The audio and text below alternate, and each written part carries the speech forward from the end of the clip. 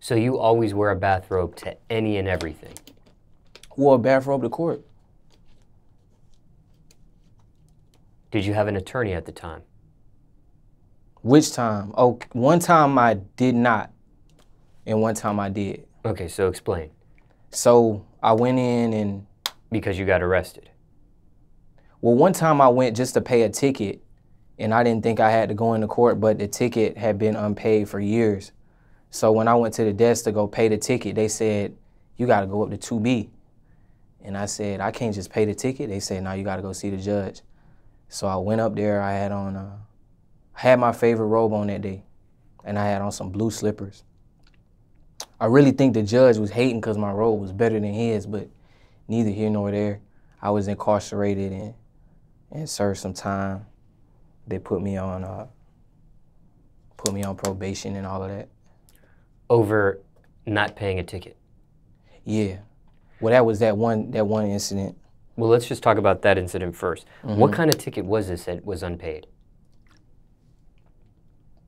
It was from 2014, and it was something driving shit. I don't remember. It was six years ago, and I went in there. It had been five years ago, and you know I had moved and I forgot about it. It wasn't even in the jurisdiction, and I came to take care of it because, you know, I got to get reinstatements and all this stuff done, and they was they weren't having it. But that was that. I came in to pay the ticket. I didn't even think I was going to court that time. But I, the problem to them is that they might feel like I'm attempting to disrespect the court or, you know, what's the, they have a term for it in the court system. They call it uh, when you don't, you don't perform the way they want you to perform. I forget the term. People in the comments will drop it, but you know, the world can't stop my comfort. Ultimately, is the moral of the story. I'm gonna be comfortable no matter where I am. I mean, everybody in the cell was complaining about how cold they were, I was the warmest nigga in there. I mean, has its benefits. But at some point, you'll have to dress up if you stay there long enough, I assume. Yeah, yeah, yeah. I had to dress down, and they did not have a robe for me. I was out sooner than later. So, what county was this? This was in, I think it was Gwinnett. Yeah, it was Gwinnett. Gwinnett County. Yeah, the road the road was better than the judges, I guess. Is Gwinnett County considered Atlanta, outside of Atlanta, part of it's considered the outskirts. Okay.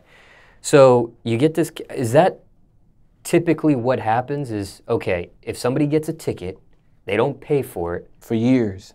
Yeah, it was. But if you don't, but old. but but let's say you get a ticket, a citation. There's probably a date whether you have to pay for the ticket or see show to court, yeah. or show to court. And I guess depending on what type of uh, infraction it is, because some infractions you can't just pay it online and that's it. You have to actually see the judge. right, right. So I don't know if this infraction originally consisted of just paying it online or seeing the judge, right. but different offenses deem different things. Yeah, for sure. So is this one of those things where, okay, it has a deadline on the ticket, whether it's a paying online or seeing the judge? Again, I don't know your infraction. Do you know what it was originally? What I you had to do? The um the date came and left, and it was I had moved and went through a series of different trials and tribulations in my life, and really, you know, the last thing on my mind was paying tickets of whatever nature they had on me. In the, in that in that case, I had about four warrants for my arrest for uh, various things that I did back, you know, years ago that I had to individually once I got back on my feet and stopped being homeless. I had to take care of them individually, especially being that I I travel around and they see that I travel around. Wait, I'm confused. I thought this was just for one. This ticket was for like one violation. This was in one jurisdiction, yeah, but I had at that time four warrants for my arrest for different various things in different counties and jurisdictions, and I had to individually go and manage and handle all of those.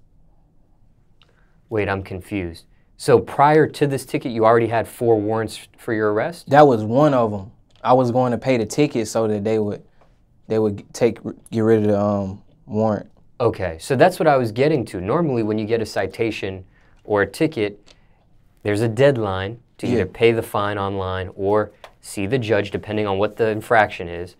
And once that deadline passes, if it's unpaid or you don't see the judge like you're supposed to, Mm-hmm. then that's when they issue a, an arrest warrant, correct? Right. Yeah. So I got all of that squared away, but I did it my way, and um, I was very comfortable in the process, and that's what it's all about. I hope that the people watching this can take take from that that you don't have to do things the way people tell you you have to do them Well, how long did you end up doing in jail? collectively or Well, no, just that, that instance there. um You show up. they didn't give me they didn't give me a bail so i had i did a couple weeks because they um they said that i was a flight risk So then what ends up happening in that situation? You get an attorney involved? i thought at that point i didn't have really the opportunity to do anything because i literally showed up in my robe and slippers and they told me i had to go to court so i walked up there thinking i'm about to just hand them a check and uh, they handed me some cuffs So you're in there, they consider you a flight risk. Mhm. You're in there for a couple weeks, then what happens? Do you get an attorney at that point for the they they have a weird thing going on in there where you know I was released in the system but they were still holding me. So I did have to end up getting an attorney to get me out. They have things going on in that building in that jurisdiction that are very questionable but you know I'm not I'm not here to speak down on the judicial system uh, as I'm now free of it so. So how did things ended up uh, getting cleared? Does the attorney just take care of everything? Is it fines? Is Yeah, it if you pay them enough money, that's really what it came down to. It's because when all of these warrants came originally, you know, I was, you know, poor sleeping outside of the studio. I lost everything I had. When I made the, the transition into, you know, wearing robes religiously is I lost all of my possessions and my belongings in a situation where I was stuck in California. I couldn't afford to fly back to Miami where I was staying at the time and um, I was racing cars. I was doing all type of things, and ultimately, I don't know if anybody watching this has ever got a one-way flight for opportunity, and then they got somewhere the opportunity wasn't what they thought it was, and basically, I was stuck there. I mean, Cali is beautiful. Don't get me wrong. I wasn't stuck there like miserable, but I was stuck there like, you know, I got an apartment on the other side of the country, and they sending me eviction notices, and then one day I got a call from my neighbor. He's like, "Yo, Harv, where you at? Um, all your all your stuff outside, like your Gucci shoes and your, your your belts and your bags and all that stuff is sitting out on the curb." I'm like, I'm just sitting in a Motel Six in L.A. when I get this call. I'm just like, damn. And um, you know, after that, all I had was what I brought in my luggage, and it motivated me even more to, you know, strive and pursue my dreams and show the world that anything is truly possible.